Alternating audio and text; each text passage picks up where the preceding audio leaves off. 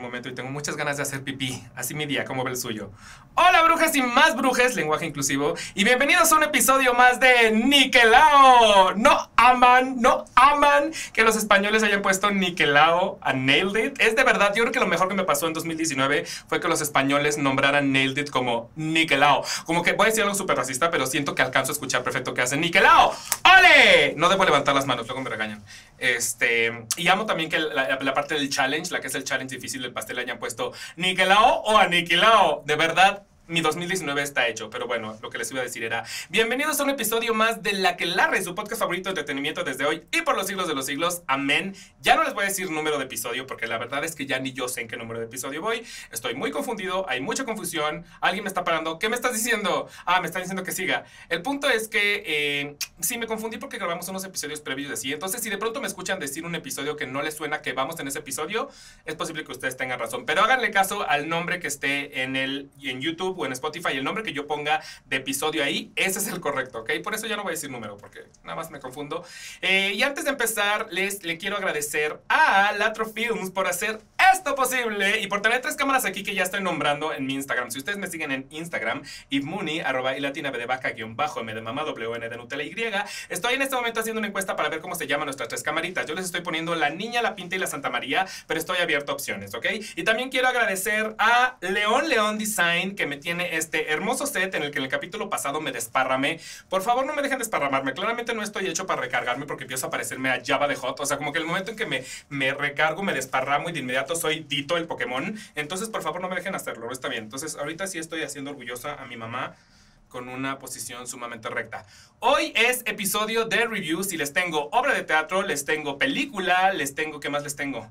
Les tengo se me acaba de olvidar por completo que les iba a decir, pero no importa, porque más o menos aquí me acuerdo. Eh, de entrada, obra de teatro, acabo de ir a ver Despertar de Primavera. Despertar de Primavera, que es la nueva obra de Diego del Río y que si ustedes vieron el capítulo no pasado, pero el antepasado, o sí pasado, uno de los capítulos pasados, sabrán que de hecho vino a platicar un poquito de esta obra que tengo mucho que decir de ella. Tengo mucho, mucho que decir de ella. Eh, quiero hablar también de Terminator, la nueva película de Terminator, que si Sara no me corrige, según yo se llama Dark Fate. Correcto, Dark Fate, eh, que es básicamente la nueva entrega del, para crecer la franquicia de Terminator. Ah, y ya, ya me acordé que otra cosa les quiero platicar. Les quiero platicar de la película hecha para Netflix American Son, porque es una película que está basada en una obra de Broadway que si no me recuerdo estrenó el año pasado y literal con el mismo elenco se movió a Broadway. Entonces les tengo esta recomendación y les voy a abrir una nueva sección, pero de la cual no voy a hablar ahorita porque primero voy a hacer los reviews y luego voy a hablar de esta nueva sección. Estoy hablando muy rápido y me estoy tropezando a mí mismo y es porque tengo pipí, ¿ok? Pero bueno, voy a empezar con Despertar de primavera porque estoy muy emocionado. Estoy muy emocionado y quiero llorar. Y quiero abrazar a Diego del Río. Y quiero abrazar a, Eugenio Rubio y a tantos otros del elenco, nomás porque hay muchos que están muy deliciosos. Pero ¿Saben qué pasa con Despertar de Primavera? Primero les tengo que, que, explicar que esta versión de Despertar de Primavera es la obra de texto, no el musical. ¿Por qué? Porque muchos que me están viendo probablemente lo que ubican es Spring Awakening, que es el musical ganador del Tony, que salió de esta obra. Pero esta en realidad es la obra originaria. Se escribió en 1890, una cosa así, o sea, es, es de hace mucho tiempo. Eh, se escribió en esos tiempos y, en esta está basada el musical Spring Awakening que todo el mundo conocemos y que ganó premios y por el cual Lia Michelle es famosa. El caso es que esta obra fue rompedorcísimísima en sus tiempos porque pues hablaba de cosas de las que definitivamente en 1800 no se hablaban. Era el, el, autor es, si no me recuerdo, alemán y quiero creer que sí porque se llama Frank Wedekind. Wedekind. Este entonces, en, Alemania de 1800, pues claramente no se hablaba de sexualidad y menos de sexualidad en niños de 14 años, porque esta está protagonizada por niños de 14, 15 años y se habla de aborto, de sexo, de violaciones, de homosexualidad, o sea, de un chingo de cosas que en esa, en esa Alemania eran muy novedosas, muy rompedoras y que de hecho en su momento fue sumamente censurada. Esta obra estuvo censurada hasta, creo que la única versión, o más bien la primera versión que ya no censuraron de esta obra fue en 1970 que se presentó en Broadway. Todas las anteriores a esas de algún modo u otro estuvieron censuradas porque sí es una obra muy fuerte. Ahora que la fuimos a ver, ahorita me voy a meter en, detalles, pero la fuimos a ver y en el intermedio volteé a una amiga y me dice el musical también era tan oscuro y yo, ah, sí, y se va a poner más, agárrate, ponte el cinturón. Es una obra oscura, es una obra densa, es una obra que te toca muchas cosas que no sabías que te podían tocar, un poco como los niños de despertar de primavera, que no sabían que se podían tocar de muchas distintas maneras. El caso es que eh, se está presentando en el Galera, que es este nuevo espacio en la Doctores. Yo sé que eso suena horrible, la Doctores, pero es un espacio en realidad que está bastante novedoso, voy a decir, desde el momento en el que llegas y está como todo grafiteado, es como si fuera un mural, la pared, un mural súper colorido, parece de de, se me acaba de olvidar el nombre, de Tokidoki. No es de Tokidoki, segura la persona que, me está, que hizo el mural está pensando, este idiota. Pero bueno, eh, para mí es como de Tokidoki en el sentido de que es muy colorido. Y entonces entras y en realidad el espacio no es un teatro, pero se puede adaptar a, hacer muchas cosas. Pues, pues incluso eh, he leído y he escuchado de amigos que el restaurante ahí es muy bueno. Eh, ahora que fui en realidad ni siquiera alcancé a ver el restaurante porque yo creo que parte del restaurante estaba adaptado para hacer el teatro. La única vez que yo había ido a esto antes de despertar de primavera fue con una obra terrible que, cuyo nombre ya ni me acuerdo. Eh, de una persona que, que estaba encarcelada, pero de pronto bailaba flans, era una cosa muy fea, de verdad. Y ahí era todo como en movimiento, o sea, como que era como si nosotros entráramos a la cárcel y ahí sucediera la obra. Lo que hizo Diego del Río fue que adaptó dos espacios muy específicos. Cuando tú entras a la obra, entras como un comedor gigante, es una mesa enorme que, que, va casi casi de pared a pared, no tanto porque, porque deja como espacios en las esquinas también para que se muevan los actores, y hay cuatro hileras de sillas, una es la barra, porque hay una barra como si fuera un bar y te puedes sentar ahí, te puedes sentar literal en la mesa, o sea, estar sentado así con, con los brazos en, en la mesa, o hay otra hilera pegada a esa pared, a esta pared que ustedes se están teniendo que imaginar porque claramente no la están viendo, pero entras ahí y tú decides el lugar, es una entrada general, una vez que entras, tú decides si te quieres sentar en la mesa. Si te sientas en la mesa, estás en la acción. Y me refiero a la acción de, literal, te pueden llover flores. O sea, hay un momento de, de golpeteo de flores en donde empiezan a llover pistilos y, ramos y te pueden caer en la cara pues si estás en la mesa y las cosas suceden, hay, hay mucho pene en tu cara, esto es lo que voy a decir, hay pene, hay, hay, hay pene tapado por un poquitito de tela, como así de tela, pero hay pene en tu cara. Eh, si te vas a la barra o a las orillas ya lo tienes un poquito más lejos y yo de hecho recomiendo que te vayas a la barra o a las orillas porque tienes una vista más panorámica. De algún modo si tú estás sentado en la mesa hay acciones que suceden detrás de ti porque estos pasillos, en estos pasillos se mueven los actores. Entonces hay acciones que tendrías que ver volteando así o así y de eso da tortícolis, entonces no lo recomiendo. Eh, y ahí sucede la obra. Si ustedes no conocen el, texto, ahí sucede la primera parte de la obra, pero ahorita me voy a lo demás. Si ustedes no conocen el texto, eh, esta obra va de un grupo de estudiantes en un pueblo en Alemania que tienen la presión de, una, ser perfectos, o sea, como que especialmente algunos vienen de clases, vienen de distintos tipos de clases, pero especialmente los que vienen de clases más de hecho, creo que son los de clases bajas los que tienen más problemas de eh, que con papás estrictos, con una escuela muy estricta, una institución que quiere mantener una buena imagen y por lo tanto sus alumnos tienen que mantener una imagen perfecta. Y unos papás que necesitan que sus hijos sean los mejores estudiantes y, se porten extremadamente bien y aparte están muy influidos por la religión, o sea, es, es, me estoy imaginando que es religión católica, pero el caso es que son, son de este tipo de, de, personas que se inventan que todo es pecado, o sea, es como no puedes comerte una papa sabrita con cubiertos porque es pecado. Así básicamente es un poquito como se trata la obra. Los, los papás y los maestros de esta obra, todo es pecado, todo está mal. Entonces, por supuesto que en este mundo la sexualidad y la sexualidad para niños de 14, de 15 años es completamente relegada a algo de lo que no se habla y de lo cual nunca se debe hablar, porque... Y entonces, el protagonista de esa obra, que es Melchior Gabor, empieza a cuestionarse y a decir, ¿Por qué me están ocultando cosas? ¿Por qué los adultos no me están diciendo cómo funciona realmente el mundo? ¿Qué me están ocultando? Y necesito saberlo y necesito, necesito comprobarlo. Y él solito se empieza a declarar como ateo, que en ese tiempo que un niño de 15 años salga a decir, ¿saben que yo soy ateo? Yo ya no creo en Dios. Pues era una bomba de información. O sea, era, era de qué, qué nos acaba de hacer este niño, nos acaba de destruir como pueblo. Entonces están todos muy estresados con, con, el hecho de que este niño se empieza a cuestionar cosas y el resto de, de los personajes que lo rodean también están pasando por, por ciertos ciertos momentos de cambio. Eh, su mejor amigo, que es eh, Moritz, Moritz, él está sintiendo muchas cosas físicas, empieza a sentir como un cambio hormonal que claramente lo tiene excitado todo el tiempo, está teniendo sus primeros sueños húmedos y ni siquiera los entiende y se siente culpable por tener sueños húmedos y entonces va y le pregunta a Melchior así de, oye, ¿a ti también te está pasando esto? Y Melchior le dice, sí, yo te puedo explicar qué te está pasando porque yo sí sé, porque yo sí leo. Su libro favorito es Fausto.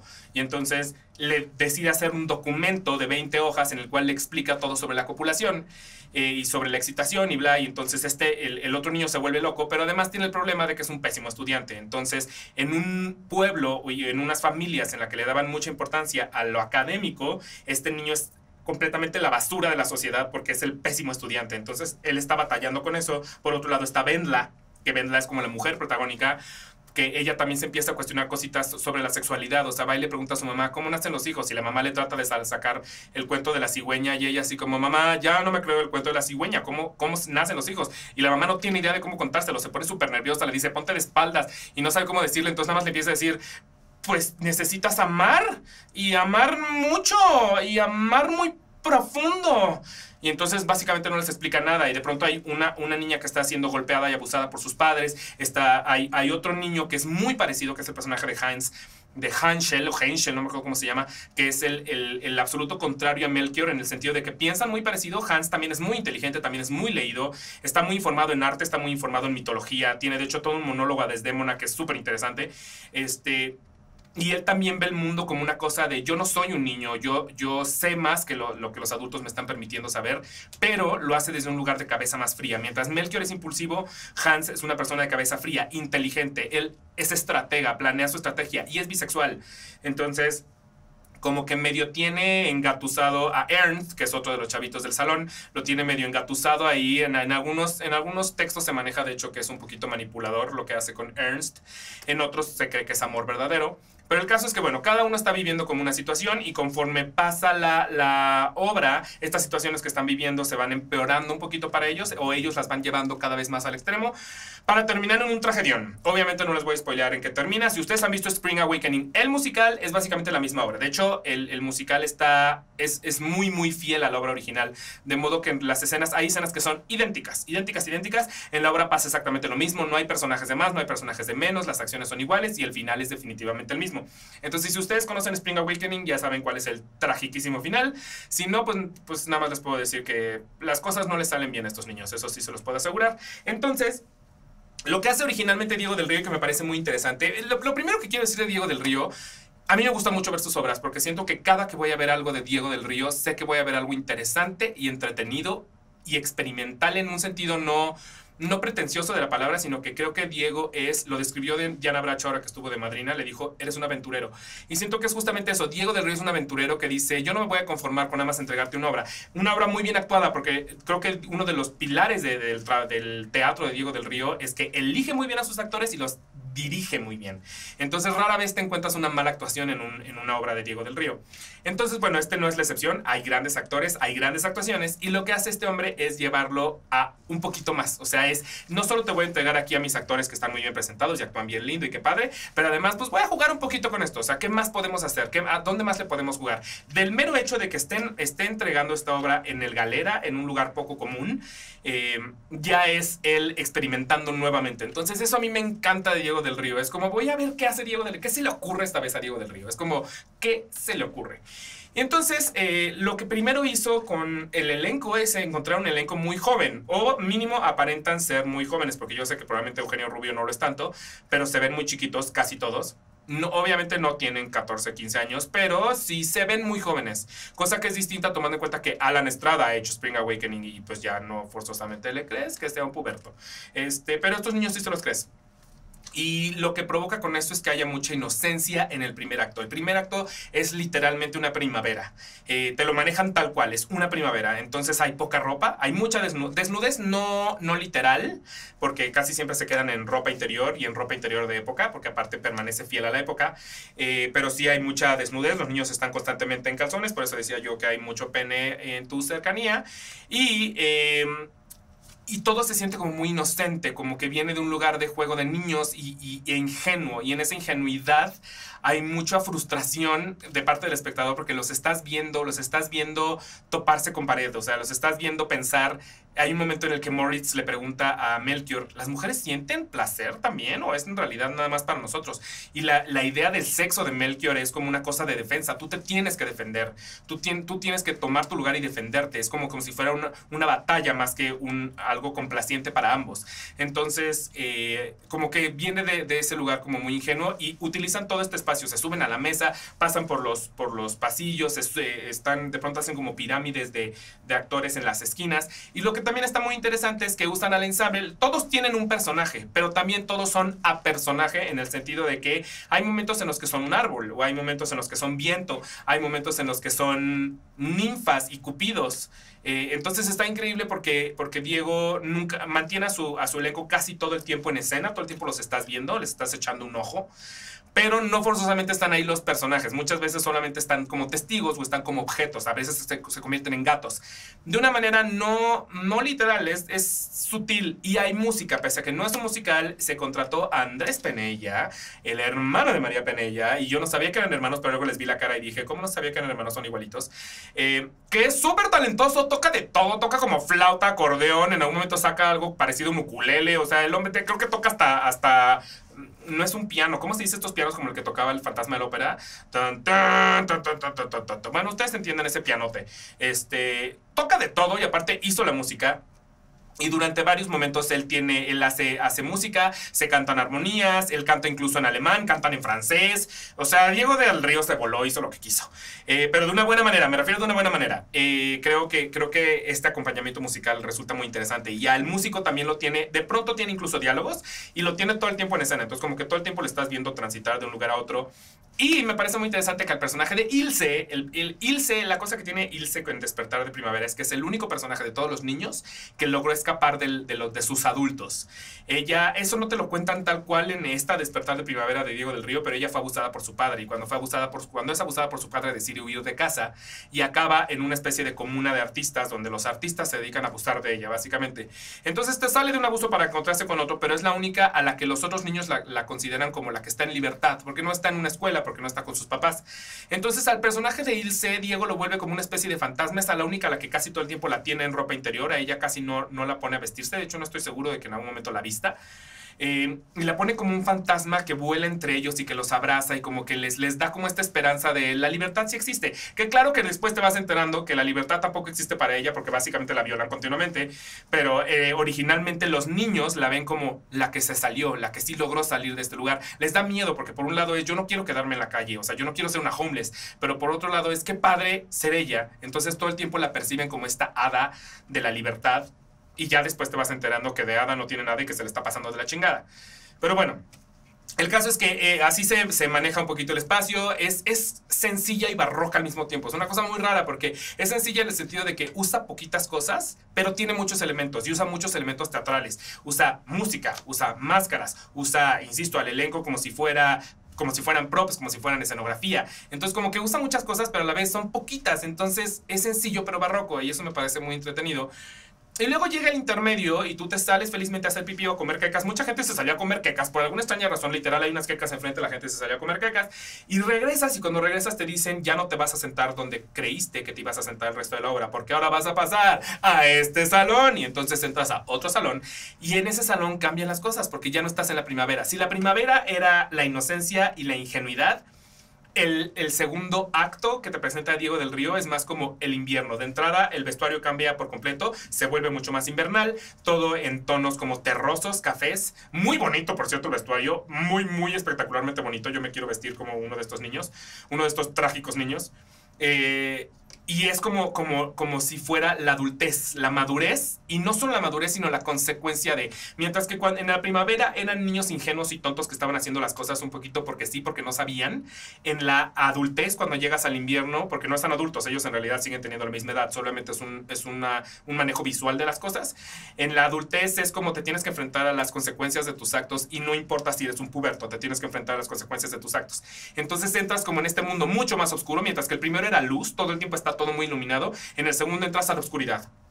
Y todo está oscuro y literal iluminan todo con luces, con lámparas, con, no se llaman lámparas, ¿cómo se dice? Con linternas, con linternas, con faroles, hay muy poquita iluminación, casi todo el tiempo estás en la oscuridad. De hecho, hay un momento bellísimo en el que uno de los personajes, no voy a decir quién, aparece como en una especie de alucinación como si no tuviera cabeza y entonces él solito se está agarrando su propia cabeza y el efecto lo logran únicamente a través de iluminación, pero estás viendo un descabezado, es una cosa increíble. Este, entonces llegas a este mundo oscuro y ahí sucede la segunda parte de la obra, que era la que yo le decía a mi amiga, abróchate el cinturón porque viene mucho más oscura de lo, que, de lo que creías, mucho más densa de lo que creías. Y ahí sucede la consecuencia de todo lo que pasó en el primer acto. En el primer, el primer acto termina con momentos muy álgidos entre varios de los estudiantes, eh, que esos eran probablemente los que fueron censurados en su momento porque son suman, no quiero decir exactamente qué fueron, porque, pero sí puedo decirles que son muy escandalosos, a dónde llega la obra, a dónde llega la desesperación de estos niños. Y para el segundo acto es, pues se tienen que enfrentar con lo que hicieron, porque seas niño o no, pues la vida no, no te perdona, la vida tiene consecuencias. Entonces, se tienen que enfrentar esas consecuencias. Y, ahí se vuelve mucho más coral, se vuelve mucho más coreográfico. La primera se siente como un acto muy libre, ves mucho movimiento, sí, pero sientes incluso que salió de los actores el, el decidir qué movimiento están haciendo. En el segundo acto es una franca coreografía donde los actores no están decidiendo nada, se están moviendo al unísono, muy, muy, muy pensado, muy, muy, muy planeado. El movimiento corporal me parece muy interesante. Este, y hay, como justamente estos elementos de juego con poca luz que también resultan muy interesantes y acaba siendo pues el dramón que todos sabemos que es. Ahora, a pesar de que me gustó mucho, porque sí tengo que decir que me encantó. Ah, bueno, y tengo que hablar de los actores porque los actores están que te mueres. O sea, insisto, Diego del Río tiene tiene ojo, tiene muy buen ojo para elegir a sus actores. Entonces, rara vez te topas con una mala actuación entre ellos, pero a muchos de ellos yo no los conocía y a otros los conocía menos, por así decirlo. De entrada, su protagonista, eh, eh, Melchior, es Eugenio Rubio, que yo lo conocía por La Divina Ilusión y que La Divina Ilusión me parece fantástico. Aquí me fascinó y me fascinó en muchos sentidos porque el güey está ultra sensual. Hay un momento en el que, en el que tira a Vendla al piso y le dice, te voy a sacar el diablo, puta. Y yo decía, que me lo saque a mí. Eso, provoca a Eugenio Rubio. La verdad es que le echa muchas ganas a estar bien sensual y está bien sensual y aparte actúa padrísimo. De hecho, todo el, el, segundo acto, que es un momento como muy conmovedor para él, eh, Ay, yo nada más le veía sus ojitos brillar y era como, me rompió el corazón, o sea, me rompió el corazón. Eugenio Rubio está padrísimo, pero, pero la gente, a él de algún modo ya lo conocía. Pero la gente que no conocía, eh, aquí tengo los nombres, pero el problema es que están como, como muy chiquitos, entonces me van, a, me, van a, me van a permitir un momento de ti en el que voy a ser así. Este, José Cobian. José Cobian sale de Moritz, yo no lo conocía, me rayó. Era, venía, su actuación venía de un lugar tan, tan tierno, tan vulnerable, tan, no sé ni cómo explicarlo, era, era un niño, era mil por ciento niño, no sé qué edad tenga, seguramente no es un niño, pero lo que vi todo el tiempo fue un niño y un niño muy orgánico, muy creíble, muy natural, me encantó, o sea, yo salí de él pensando, digo, salí de la obra pensando en él y pensando en Lourdes del Río, que es hermana de Diego del Río, hermana de Aida del Río, sateluca de la vida, este, nunca la había eh, visto actuar, yo a Lourdes un poco la conozco como fuera de, como, como la persona en la que te topas de pronto en un estreno y nunca la había visto actuar y ella sale de Marta, el personaje que es golpeado por sus padres. Hijo, se avienta un monólogo que te rompe el corazón en mil pedazos como la figurita de Yadro que se le cayó a tu abuela. O sea, es una cosa espectacular. Lourdes del Río, por favor, déjame adoptarte. O sea, necesito a Lourdes del Río en mi vida en todo lo que haga. La próxima vez que tengo una mala noticia que darle a alguien, voy a contratar a Lourdes del Río. ¿Se la puedes dar tú, por favor? Y hacer esa cara que haces. Es de verdad, Lourdes del Río es una de las razones para ver esta obra. Sebastián Dante, que a él sí lo conocía porque lo vi en Argonáutica, pero de algún modo ustedes saben que Argonáutica y yo tenemos una relación amor-odio, entonces creo que no me había dejado llevar tanto por Sebastián Dante y en esta obra vi a, un Sebastián Dante que me dejó muy impresionado. A él le toca hacer el papel de Hans, lo que significa que le toca el monólogo de, de, Ya rezaste desde Mona. Híjole, ese es un monólogo. Es de estos monólogos que siento que los actores van y presentan en un casting. Es ese tipo de monólogo. Entonces es, es magnífico. Le queda perfecto. O sea, físicamente yo decía, es que es Hans. Es mil por ciento Hans. O sea, perfectamente peinadito y su cara de niño. Porque él tiene una cara así perfecta de niño y hasta medio andrógino. Como que podría pasar por un ángel, ya saben. Es como tipo Tilda Swinton. Ese es como de ese tipo de caras, pero en niño. Eh, me pareció espectacular, espectacular su trabajo. O sea, creo que salí muy enamorado de muchos de los actores. De muchos, muchos de los actores. Dije, ¿quién es esta persona? Qué padre lo que está haciendo. La misma Benla, que, que es Ana Guzmán, que ella además es productora de la obra, que no entiendo cómo es productora de la obra, si claramente tiene 16 años, pero bueno, es productora de la obra, ella también me dejó muy impactado, muy, muy inocente su trabajo. Me gustó, me gustó mucho en general todos los actores. Pero me tengo que ir a un detalle que no me gustó y que creo que sí va a ser un detalle importante cuando se hable de esta obra, y es el hecho que es sumamente larga. Dura sus buenas tres horas y cacho, la verdad. Y lo que pasa es que como que todos estos elementos que usa Diego del Río, que son muy padres y muy vistosos, se alargan de más o incluso hay más de los que la obra necesita, porque si de por sí es una obra oscura y es una obra densa, como ya dijimos, cuando le empiezas a meter una coreografía acá, una coreografía allá, un momento coral acá, se empieza a alargar, alargar, alargar, alargar, el, para el final en realidad ya, y luego para el final te pasan este segundo cuarto y en el segundo cuarto las sillas no son del todo cómodas, entonces ya estás en el final como, la asiática, ay, la asiática, entonces... Eh, creo que sí es un, es un tema la longitud y la densidad de la obra. A mí me gusta mucho, pero siento que mucha gente la va a percibir como, híjole, estuvo súper pesada. Y sí creo que es un problema, especialmente porque se podría editar tantito, se podría cortar unos 15, 20 minutos, creo que sí se puede cortar. No tanto la trama, porque creo que la trama está contada de principio a fin y está contada como debería ser, pero estos momentos Bueno, hay un momento sí en, cuando presentan como al, consejo de maestros del, del instituto Ah, que es, es lento y es tal vez editable. Entonces, no sé, sí siento que pese a que me gustó mucho, podría entender el por qué alguien pudiera decir, híjole, me pareció larga y pesada, porque sí creo que puede caer en lo larga y pesada. Aún así, yo la recomiendo ampliamente, no podría recomendarla más, de hecho, la amo, la amo, la quiero volver a ir a ver, Daniel no la ha visto, entonces tengo que regresar con Daniel, Daniel ama el musical y siento que le va a encantar, es un dramón, es un dramón, agárrense, vayan con Kleenex, es un dramón, abracen a sus hijos, es un dramón. Eh, pero bueno, definitivamente es dura hasta mediados de diciembre, entonces es una temporada muy corta, literal creo que son algo así como seis funciones y está los domingos en el Galera y no se la pueden perder. Y luego, eh, Terminator. Terminator. ¿Qué hacemos contigo, Terminator? ¿Saben qué pasa? Que de entrada está, mucha de la obra está así, de la obra de la película está situada en México, pero hijo, se aventaron un México que solamente les faltó el zarape y el burro. O sea, una cosa súper ofensiva para cualquier mexicano. Que yo decía, ¿qué? Porque aparte ni siquiera es como están en un pueblo en México, que podría ser cualquier pueblo. No, no, no. Menciona literalmente que están en la Ciudad de México y, híjole, ni siquiera parece pueblo mágico. O sea, el pueblo que te presentan en la película de Coco, donde vive Mama Coco, es un pueblo de primer mundo a comparación de la Ciudad de México que presentan en Terminator. Es una cosa de... Ah, esto no, oigan, así no es la Ciudad de México. Una cosa espantosísima. de verdad, de verdad, el meme de Meryl Streep diciendo, eso no es Ciudad de México. Y luego lo más absurdo es que en algún momento deciden cruzar a Laredo desde la Ciudad de México toman un tren y se van a Laredo desde la Ciudad de México. O sea, es una cosa muy poco investigada del cómo viven los mexicanos y sí un poquito ofensiva, la verdad. O sea, yo no podía quitarme la sensación de están representando muy feo a mi país y no me gusta. Pero bueno, más allá de eso, que eso lo percibo yo como mexicano, porque pues no estuvo padre, eh, es muy kitsch. Es muy, yo sé que Terminator es kitsch, o sea, es I'll be back. Pero ¿saben cuál es el problema? Que incluso el I'll be back, como que, como que ellos lo fuerzan y dicen, hay que meterlo para que la gente entienda que estamos haciendo referencia a la película 2. Y entonces te meten el I'll be back por todos lados. Todos los personajes hay un momento en el que dicen I'll be back. Y es como, pero se supone que lo dicen de manera orgánica. No, no, no, no, no, un desastre, desastre de guion absoluto. Eh, me pareció muy. La verdad es que me pareció muy kitsch, me pareció incluso aburrida. Eh, es muy chistoso porque es como, sale Diego Boneta y Diego Boneta dio entrevistas por doquier. Si parpadeas te pierdes a Diego Boneta. O sea, Diego Boneta literal solamente salió para quitarse la camisa, no nos hagamos tontos. Literal, literal, se quita la camisa, y luego deja de salir. O sea, Diego, ni, se emocionen porque sale Diego Boneta, no sale Diego Boneta, no, no, no se engañen. Es como Belinda en Baywatch, que es como, sale Belinda en Baywatch, ajá, sale, sale el ojo de Belinda en Baywatch. El caso es que eh, me parece que, digo, ¿de qué trata la, la, la película? Resulta que después de que destruyeron a Skynet en el pasado, Linda Hamilton, es decir, Sarah Connor, logró acabar con Skynet. Resulta que ahora hay una nueva amenaza que se hace llamar Legion.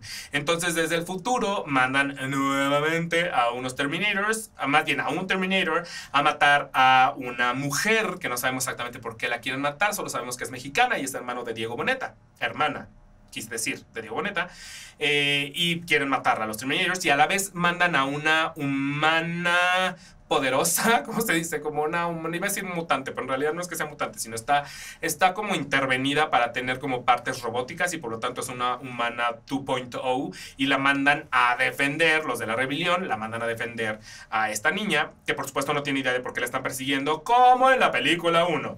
Este, y de pronto les aparece de la nada Sarah Connor, porque resulta que Sarah Connor está recibiendo mensajes a un celular que le dicen exactamente las coordenadas de los lugares donde tiene que estar para salvar gente y entonces pues aparece y los empieza a ayudar, pero es una Sarah Connor que te cae muy mal porque está muy amargada. Sí se le murió el hijo, jaja. No es un spoiler, se le muere el, hijo literal la primera escena.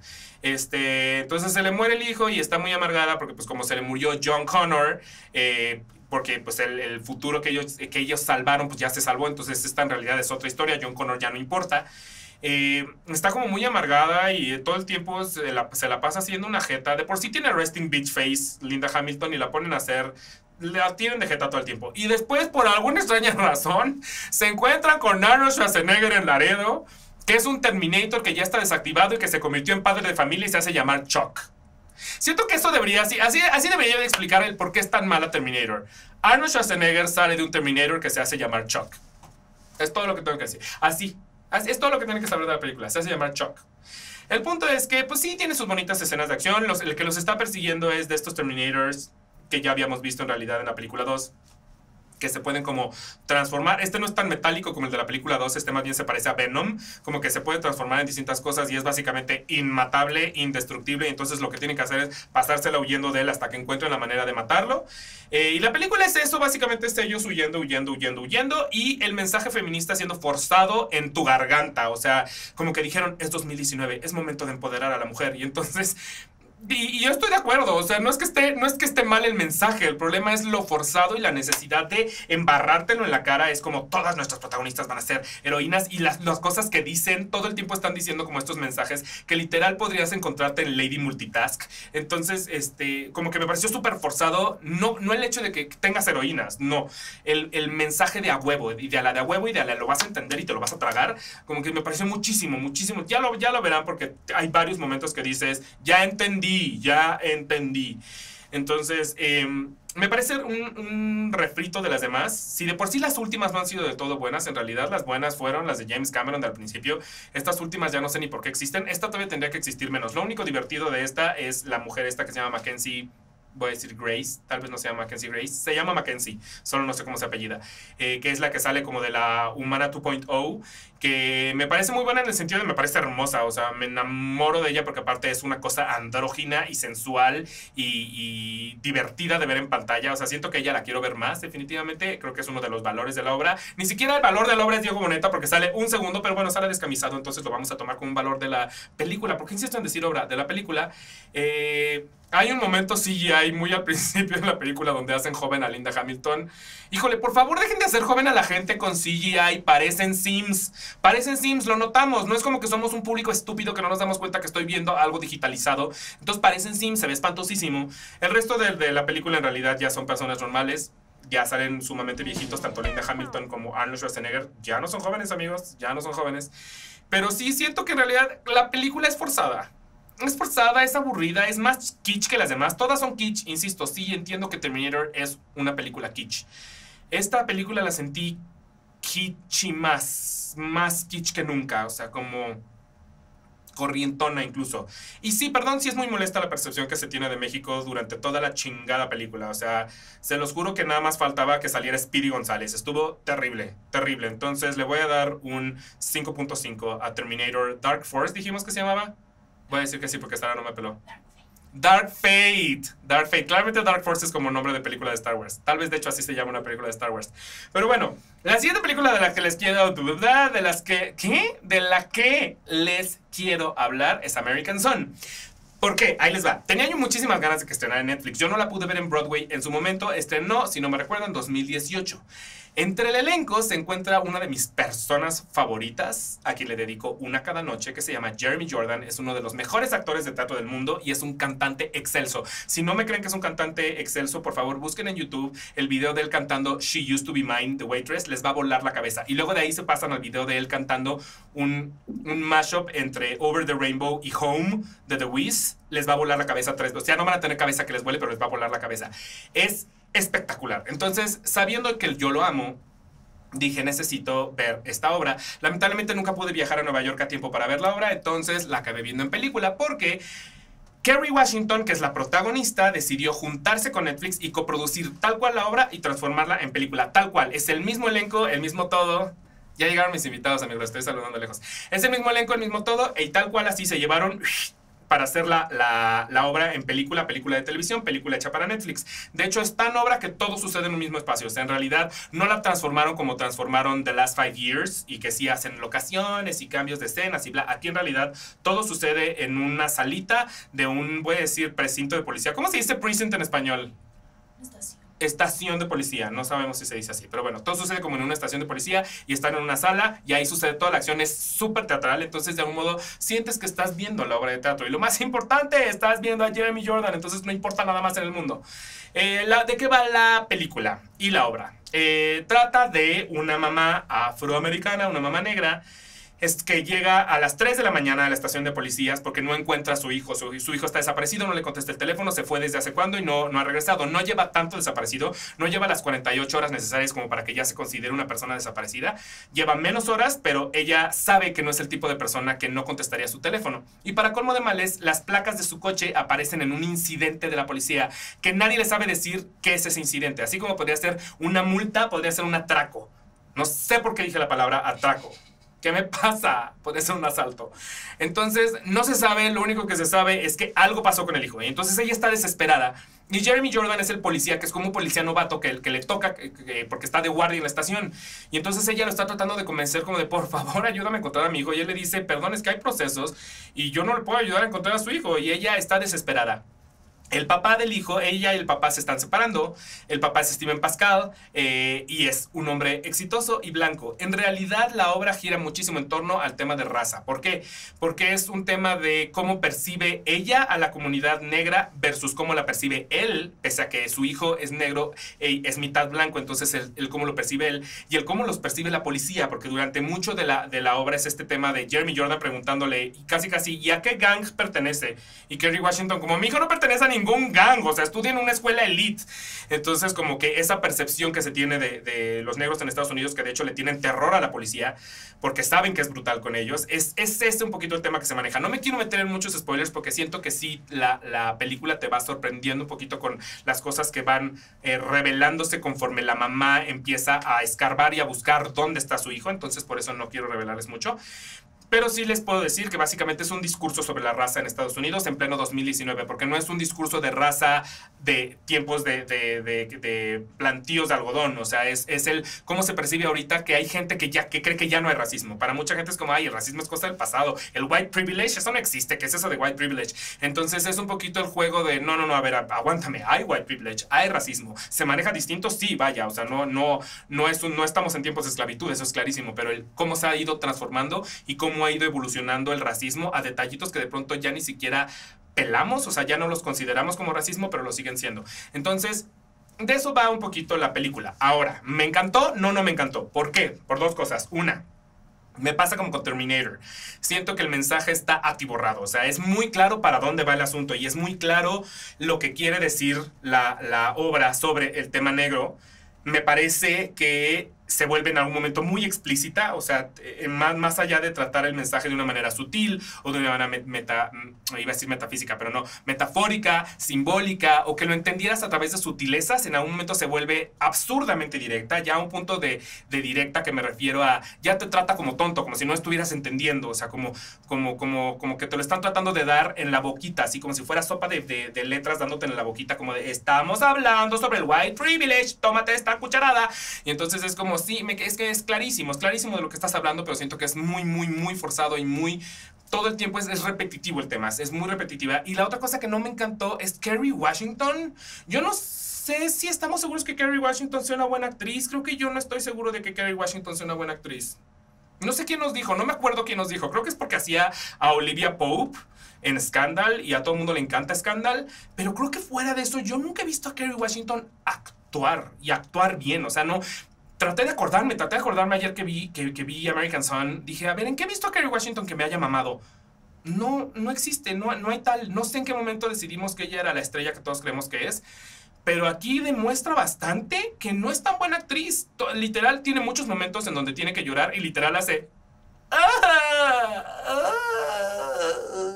No le sale una gota de loco. O sea, ella tendría mucho que aprender de Victoria Rufo. Literal, no se le mojan los ojos. O sea, es un llanto. Hay un momento en el que Steven Pascal llora y de inmediato es así de el llanto. Ella cuando llora nada más como que frunce el ceño y hace, ¡Ah, mi hijo! Estoy muy triste. Y no le crees nada. Y todo el tiempo tiene como una cara. me pasa lo mismo que con Will Smith, que son estos actores que deciden que como están tristes, hay una cara de tristeza y es la misma cara que van a manejar desde el segundo uno que empieza la película hasta que se acaba. Entonces todo el tiempo está haciendo. Todo el tiempo es así, todo el tiempo. Policía, ayúdame con tu hijo, por favor. Y ni siquiera cierra bien la boca y entonces me estresó muchísimo porque es como, Kerry Washington, estoy tratando de conectar contigo y no lo estoy logrando porque cabrón, eres una mala actriz. ¿Qué está pasando? Y luego lo platiqué con, con, no les voy a decir el nombre de la persona con la que lo platiqué porque no lo quiero quemar, por si él no quiere ser quemado. Pero le dije, oye, ya, ya sabía que había visto American Son. Y le dije, oye, ¿estoy mal yo? O, o Kerry Washington no nos dio nada. Y me dijo, no, no estás mal tú. Kerry Washington no nos dio nada. Entonces, bendito, descubrí que mi opinión eh, no es. No soy el único que piensa así, pues definitivamente Kerry Washington no nos dio nada. Creo que es una buena. Creo que es una película interesante. Creo que es una película que definitivamente vale la pena ver más allá de Jeremy Jordan, pero sí les tengo que decir, obvio, que tienen que ver a Jeremy Jordan en lo que haga. O sea, si Jeremy Jordan un día decide hacer un video leyendo la sección amarilla, véanlo. Pero bueno, más allá de eso, sí me parece interesante el tema. O sea, sí, es, sí, sí viene de un lugar que resulta interesante, especialmente para un público 2019. Sí, sí queremos oír ese mensaje, sí queremos saber, sí queremos saber los, los recovecos de, de, esta historia, especialmente nosotros que vivimos fuera de Estados Unidos y que de pronto nos resulta hasta ajena. Sí, sí es interesante, definitivamente lo es. Las actuaciones de Steven Pascal, de Jeremy Jordan, hay otro actor que sale, que honestamente no me sé su, su nombre, son solo cuatro actores. Todos ellos creo que están haciendo un excelente papel. Kerry Washington a mí me queda de ver y sí siento que la, la trama está repetitiva y forzada. Fuera de eso, finalmente, claro que le recomiendo. Y lo que está padre es que la gente que no pudimos ver la obra, de algún modo estamos recibiendo un poquito de esa obra porque es idéntica. Entonces se siente Broadway. La verdad es que se siente Broadway. Y eso está padre. Entonces, bueno, la recomiendo ampliamente. Y antes de irme, quiero hacer una nueva sección. Y mis productores, ¿qué? ¿Qué está diciendo? ¿Por qué? Les voy a hacer una sección chiquita, ¿ok? Es una sección chiquita. Originalmente le iba a poner All These But Goodies, porque quiero recordar como una película. Una película que podamos ver actualmente en alguna plataforma digital, llámese Netflix, Amazon, claro, video, en alguna en la que esté, pero que podamos recordar una película que valga la pena de antaño y que tal vez tengamos un poquito olvidada, pero no le voy a poner These But, Good, Goodies porque creo que eso hacían en Universal Studios, no Universal Studios, ¿cómo se llama? X en la radio. El caso es que decidí ponerle All this, but still fucking awesome. Y así con esa voz, que es voz de, ves mi voz de Beetlejuice. Es como, como que la pasas como de un, un, lugar tranquilo y adolescente como la voz que yo tengo originalmente y luego te vuelves Beetlejuice. Es como All this, but still fucking awesome. Entonces mi primera película para All this, but still fucking awesome es 30 Days of Night. ¿Se acuerdan de 30 Days of Night? La acabo de volver a ver. Estoy enamorado de 30 Days of Night. Estoy enamorado de 30 Days of Night desde que tengo memoria, porque de hecho tengo la novela gráfica. La amo. Es una película de vampiros, es una película de vampiros muy oscura que se va a lugares ultra violentos e ultra sangrientos. Casi no es de Frank Miller, pero es como al estilo Frank Miller. Sin llegar a ese punto de, preciosismo de, Sin City, porque es mucho. Iba a decir naturista, no digo naturista, natural. No es, no está natural, eh, pero vaya, sí, es, sí está muy estilizada, muy sangrienta, muy violenta. Si ustedes les gustan esas cosas, ustedes saben que el género de terror es mi género favorito. Entonces, eh, definitivamente les va a gustar. Es una película de terror que tienen que ver si no la han visto o rever si la vieron hace mucho tiempo y ya la tienen olvidada porque es magnífica. ¿De qué trata? Es un pueblo en Alaska en el que se les va la luz literalmente por 30 días en alguna fecha del año. Y entonces los vampiros, hijos de puta, deciden que es el mejor momento para ir a tragarse a toda la población de ese pueblo, porque pues se les va la luz por 30 días. Y entonces, pues todos los, los poquitos sobrevivientes, la historia sobre los poquitos sobrevivientes, el cómo pasan esos 30 días para lograr sobrevivir a y volver a ver la luz del sol. Es muy interesante. El malo principal, el fantasma principal es Danny Houston. Danny Houston es una maravilla. Yo tengo una foto con él y estoy muy orgulloso de eso. Es una maravilla, es un villanazo al que le quieres lamer la nariz de lo gran villano que es. Este fabuloso. Y otro de los villanos, pero, pero es humano, ese villano, es Ben Foster. Ben Foster haciendo un trabajo como el que nunca has visto. Yo no puedo entender cómo Ben Foster está casado con Robin Wright. Eso es una cosa que solo quiero poner allá afuera, en realidad no tiene nada que ver con la película, pero no lo entiendo. Pero el caso es que está haciendo un trabajo súper interesante, es como un loco, como un poquito como, como el... Se me acaba de olvidar el personaje este de, de, las, de las películas y las novelas de Drácula, el que está loco, está en un manicomio, se me acaba de olvidar. ¿Alguien se acuerda del nombre del personaje de Drácula que está loco y está en un manicomio? No. Ripley, Radley, una cosa así. Pero bueno, es como un poco está channeling a ese personaje. Es como una locura porque él quiere ser transformado en vampiro. Pero entonces está medio loco y tiene los dientes negros y babea y es una cosa gloriosa. O sea, la película es, es, es así, es como medio repulsiva, pero no, no repulsiva a nivel grotesca de ya medio asco como, como, como Mimic, por ejemplo, o sea, no, no se va a esos lugares, pero sí tiene estos personajes como demasiado perversos y eso me encanta. Este, y bueno, los, una de las protagonistas es Melissa Leo, que no sé qué haga Melissa Leo de su vida, o sea, como que sí me preocupa un poquito Melissa Leo. O sea, como que sí quiero saber si vende Price Shoes, la verdad. Pero, pero, pero sí es una de las protagonistas y me da mucho gusto ver a Melissa Leo porque siento que era padre, era bien padre y como que no la utilizamos lo suficiente. Pero bueno, es un oldie, but still fucking awesome, que definitivamente tienen que ver. O sea, es, es sí, sí, sí, les gustan los vampiros y compren también la novela gráfica. Yo la conseguí no sé en dónde, probablemente en alguna mole o en algún lugar así de, geeks. Este, la conseguí y es padrísima. Es mucho más, curiosamente la novela tiene mucho más humor, es, es un poquito, es menos seria que la película. La película se toma muy en serio a sí misma, o sea, no hay ni tantito humor, es, es gótica y es obscura y es taciturna y literal, así como no hay luz en el pueblo de Alaska, no hay luz en la película. Eh, pero bueno, sí, es muy, es muy, hay unas muertes padrísimas. Hay un momento en el que uno de los personajes toma un tractor y con eso se pone a matar vampiros, es glorioso. Entonces, definitivamente, si no la han visto y si les gusta el terror como a mí, este es un oldie but still fucking awesome que no se pueden perder. Y ahora sí siento que con eso ya me puedo despedir antes de que mis productores digan, ¿qué está haciendo este güey? Ya vio que sus invitados están aquí, sigue hablando, ¿qué le pasa? Pues bueno, me voy a despedir, pero no antes sin volverle a agradecer a Retro Films por hacer todo esto posible. Acuérdense de ayudarme a nombrar a las cámaras, la pinta la niña y la Santa María. Y ¿qué otra cosa iba a decir? Ah, bueno, y volverle a agradecer a León León Design, que ya vieron que hoy puse mi, mi este, no sé ni qué chingados es esto, pero mi este en color fucsia, porque siento que el fucsia me va mejor. Pero bueno, acuérdense que me pueden seguir en absolutamente todos lados como Imuni Latina, B de vaca, guion bajo, M de mamá, W, N de Nutella, Y, y les respondo básicamente todo. Si alguno de mis reviews les gustó o no les gustó y dicen, ¿sabes qué? Terminator es la mejor película del mundo. Me lo escriben y lo platicamos en Instagram. ¿Les parece correcto? Muy correcto. Entonces, nos vemos a la próxima. Y esto es muy importante. Me voy a Nueva York mañana. Entonces, los próximos capítulos de reviews les voy a estar poco a poco les voy a ir dando cositas que viene a Nueva York porque voy a ir a ver mucho. Entonces, les voy a ir soltando poco a poco. No lo quiero soltar todo de golpe, pero les voy soltando poco a poco. Entonces, prepárense porque mínimo si viene el review de Mulan Rouge. Mínimo. Nos vemos, brujos.